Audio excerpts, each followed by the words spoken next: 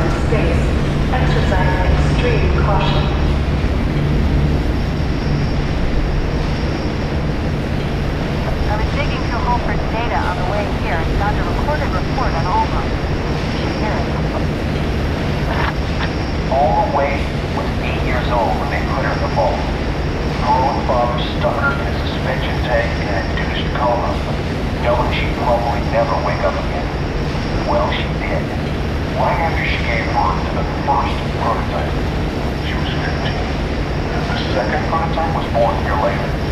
She woke up for that one too. She didn't like them taking her babies away from her.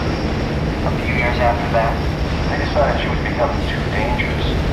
When they realized she was influencing the second prototype's actions, even though she was completely unconscious and locked away deep underground in a telepathic suppression field. So they turned off her life support and sealed up the facility. Just left her to drown amniotic fluid in that miserable little tank she'd been floating in since she was a little girl. Well, her heart shut down, but her psychic signature didn't. Not many people can just refuse to die. Harlan Wade was right. We make our own monsters, and they come back to haunt us.